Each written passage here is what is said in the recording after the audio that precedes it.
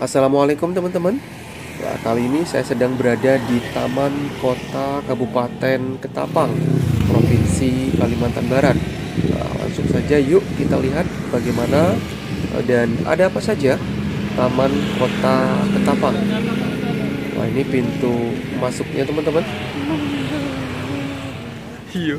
Ya, Selepas pintu masuk kita mengambil arah ke kanan Wah ini seperti yang tampak pada video di uh, pinggir jalan sebelah kanan ini banyak sekali kuliner-kuliner.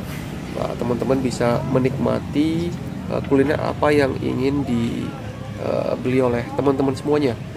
Di sini ada spot foto Instagramable yaitu Taman Kota Ketapang. Nah, teman-teman yang berkunjung ke kabupaten ini apabila ingin mengabadikan atau biasanya mencari icon-icon yang bisa uh, dijadikan tempat foto. Wah, salah satunya adalah tulisan Taman Kota Ketapang ini, teman-teman. di sini sangat ramai sekali karena memang kebetulan pengambilan video saya lakukan pada sore hari. Ini kurang lebih pukul setengah lima. Ya. Ini merana yuk. Seperti inilah kondisi Taman Kota Ketapang lah.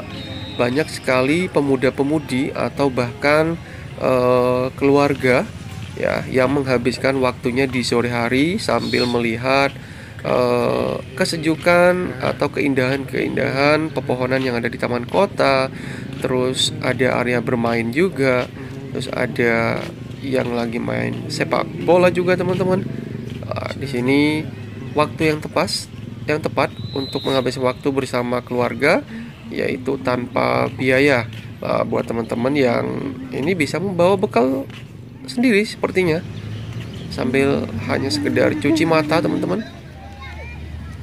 Nah, ada juga pemuda-pemudi yang melakukan olahraga pada sore hari. Ya. kita bergeser ke arah sebelah kiri. Lah ini area bermain untuk anak-anak sepertinya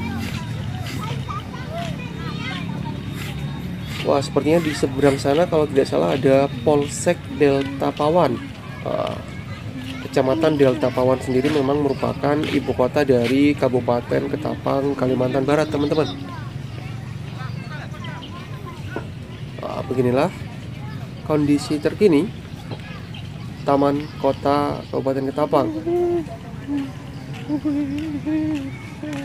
Ah, banyak sekali itu. Keluarga-keluarga dengan yang membawa anaknya sekedar menghabiskan waktu di sore hari.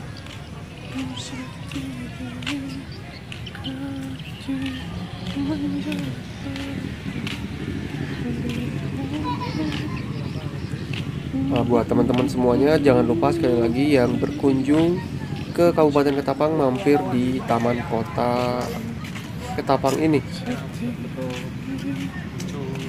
apa? Seperti itulah teman-teman kondisi terkini sekilas tentang Taman Kota Kabupaten Ketapang. Nah, jangan lupa ya mampir ke Taman Kota Ketapang apabila teman-teman uh, mengunjungi kabupaten ini. Ya, saya katakan wassalamualaikum.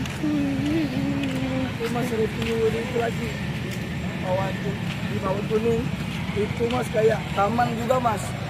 Jajanannya bak rame gitu